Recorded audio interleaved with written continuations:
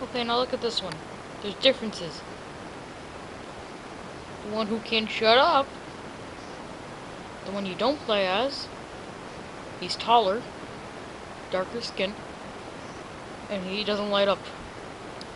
Oh man, this is just weird, but... Well, this is the last time I'm going to show you guys anything about the two Luigis. So you better, better enjoy this. Man, it's cool. Look at